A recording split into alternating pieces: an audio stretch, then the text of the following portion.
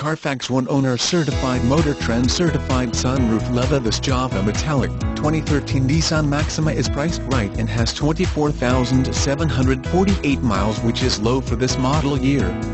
Leather interior that looks great.